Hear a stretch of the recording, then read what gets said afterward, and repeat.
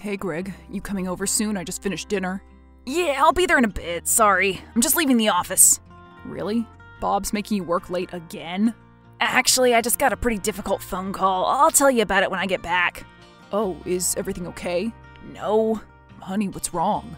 it's my dad.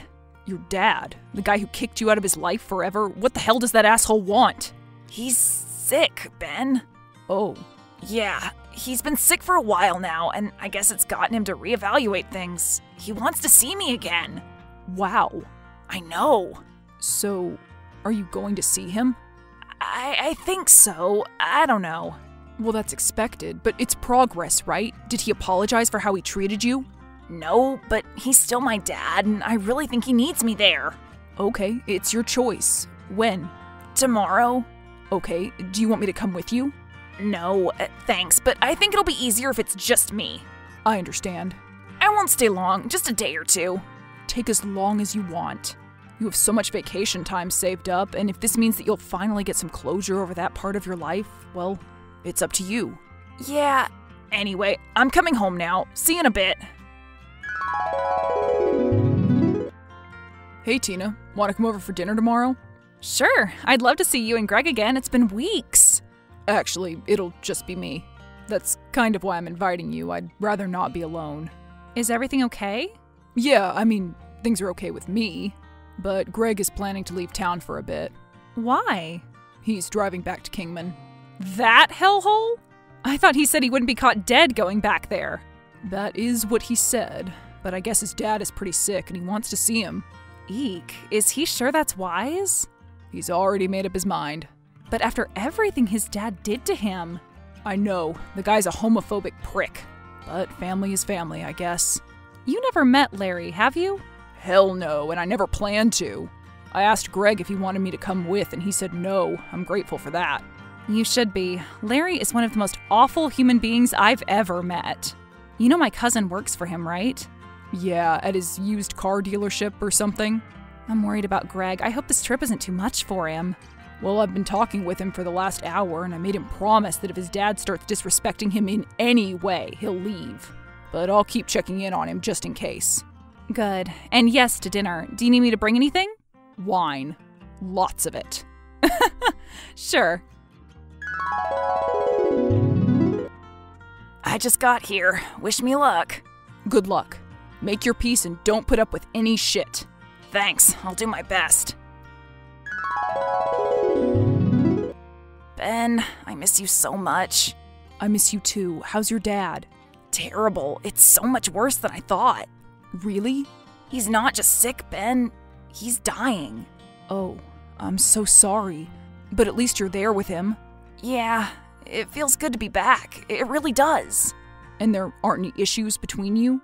What kind of question is that? He's dying. You don't expect me to say anything that would upset him even more, do you?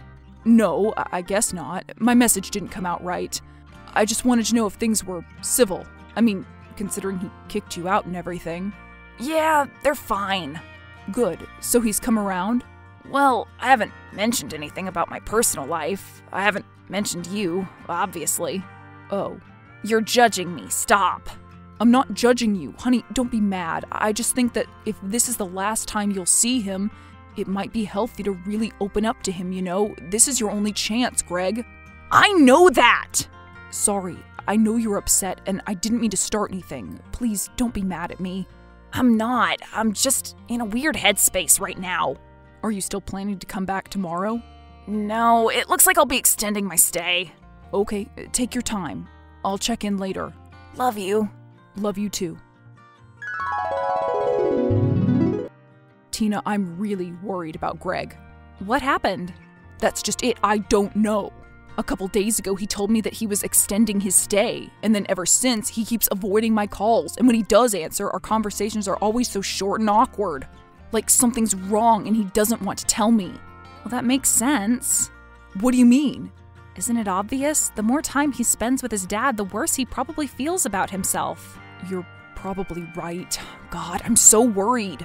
It'll be okay. Greg's not an idiot, and he's no longer the insecure little teen that got pushed out on the street. He's an adult. And he knows that there are people back here who love him. Yeah, I just hope he comes back soon. Me too.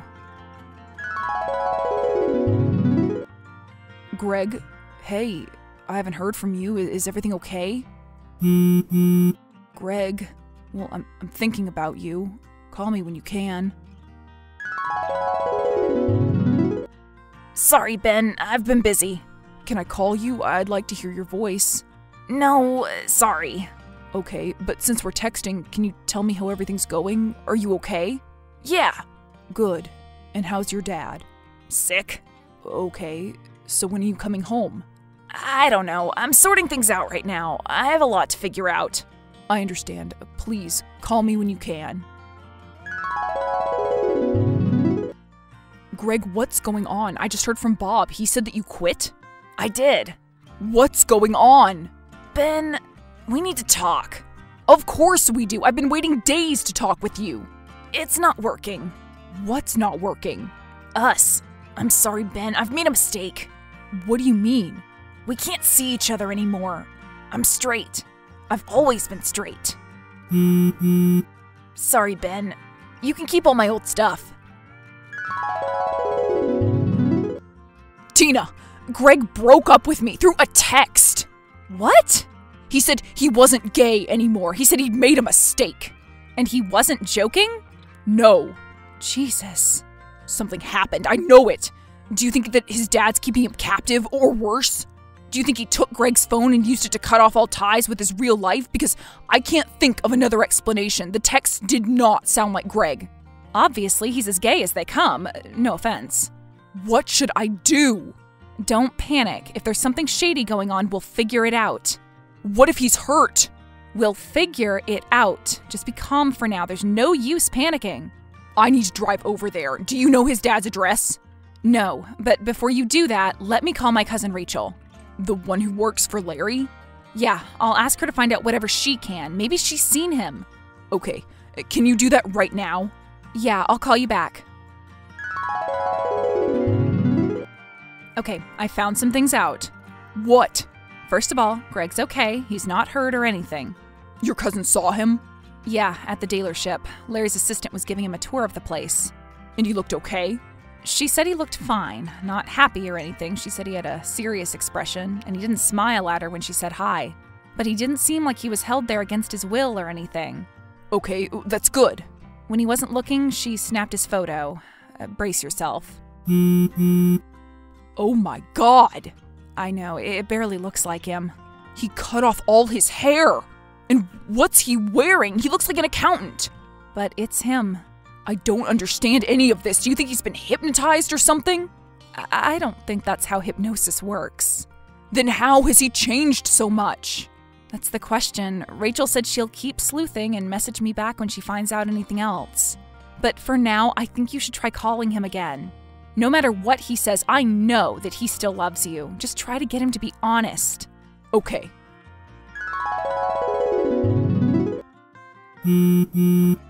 Greg, I'm not going to stop calling until you answer. Please. You owe me that. Greg, come on. You of all people know how awful it is when someone cuts you out of their life. Hi. Greg, you're there. I am. I've been so worried about you. Don't be. I'm starting a new life right here. It's what's best for me. Really? Where are you going to live? Where are you going to work? I'm staying at my dad's house. I actually have the same bedroom I did when I was growing up. I assume your dad took down the One Direction posters. And as for money, I'm going to be just fine. How? I'm taking over dad's dealership. What? But you don't know anything about cars? I know, but it's a great opportunity for me. Dad's on his last legs, and he wants to spend whatever time he has left on the beach. So he's signing over everything to me and even letting me keep the house, and I'll be running the business from now on. Wow. I know it's not what I expected out of life, but I'll be living comfortably from now on. Without me. I'm sorry, Ben. Dad made it clear that if I was going to take over the business, I had to start clean. Did you forget how he treated you? Did you forget how he kicked you out when you told him you were gay? No, I remember. And you're just okay with it now? I've moved on. Clearly. And he won't be here much longer. After he signs everything to me, he'll be in Belize. Belize? Where's that? Central America. It's beautiful, I guess. Tropical. The cost of living is a lot lower and the hospitals are pretty good. so he'll be able to get whatever kinds of meds he needs without spending too much. And you'll be managing a car dealership all on your own? I'll have a whole staff, but yeah, that's the plan. Seriously, Greg, is this really what you want? It is. I'm sorry. You said that already. And you don't have any regrets. No. Dad made it very clear that he wants me to keep his business alive, and the only way it would work is if I distance myself from the mistakes I've made. Mistakes? You keep using that word. Are you calling me a mistake? No, please don't think that. I just mean that I didn't really know myself before. But I do now. Seriously? You spent half of your life hating that asshole, and now you're going to be him. You're going to be little Larry Jr. I gotta go. Wait, I have to ask you something. No, I think we're done. Please, I promise I'll stop contacting you, but I have to ask this. Fine. What? Did you ever love me? No, Ben. I- I'm sorry. But I'm not gay and I was never in love with you. I'm sorry if this hurts. Yeah, understood. I just found out something. You won't believe it. Oh my god, I was just going to call you. I talked to Greg and I finally figured it all out. Okay, you go first. What did he say? He said that his dad is signing over the dealership to him. I guess because he's on his deathbed or whatever, he decided to pass everything off to his son and then move to Belize to finish out the rest of his miserable life. And Greg said yes. He chose to ditch me to run straight back into the closet because of all the money he'll be getting. Oh my god. I know. You know what that means, right? It means that Greg is turning into the exact man that he's hated. He's Larry 2.0. This is insane. And I gave him one last chance to change his mind. I asked him point blank if he ever loved me. He waited five minutes and then said no. I know that's bullshit. I know he's lying to me, but I just don't know if he's lying to himself. Or if he actually believes that he's straight now. If you ask me, I think it's all about the money. I think he's just doing what his dad wants because he wants to be rich. And this is going to blow up in his face. Epically. I hope so. No, it will. I know for a fact. Huh? You should have let me go first. You will not believe what I found out. Larry isn't dying. He isn't even sick. What? Yeah, that's all made up. How do you know this? My cousin told me. But what about giving Greg his business and moving to Belize? Oh, he's still going to do that, but it's not because he's sick. It's because his business is failing and he's passing on all his debt to Greg. Ben, I'll take your silence as a sign of shock. Or maybe you're just laughing over the poetic irony. A little of both. Yeah, my cousin snuck into Larry's office after we talked. She looked through his financial stuff and found two sets of books. One showed them deeply in the red, like over a million, and the other was grossly inflated. I can only assume that he showed Greg the fake one. And after what you just told me, it's pretty clear why. I can't believe it. Greg is abandoning everything he believes in, abandoning me just so that he can get rich. But he's actually going to get sucked into debt? Glorious, right? Absolutely perfect. Yeah. My cousin's not too happy, though. She's going to have to get a new job before the whole place goes under. Right, uh, sucks for her. Eh, she can manage. Tonight, she's meeting with all her coworkers to tell them the news, too. They can all go job hunting together. So not only will Greg take on a failing business, but he won't even have a staff. Looks like it. She didn't say anything to Greg, right? No. And you're not going to tell him either, are you? I don't know. Once he signs those papers, he'll be in huge trouble. Don't tell me you feel sorry for him. He chose this. I know, but on one hand, I'm here for the karma, but on the other, we've been together for three years. I still love him. And do you think he still loves you? I do. Then doesn't that make things worse? I mean, he's choosing money over love. It would be one thing if he just dumped you for a new job, but he's basically betraying you and himself. You're right. When is he signing the papers? I don't know. Soon, I guess. Well, you have all the information. The ball's in your court. You can save him from himself, or you can let him ruin his life. Think about it. Thanks, Tina.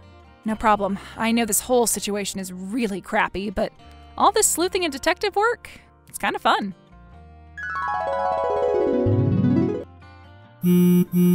Why are you sending me photos of our New York trip?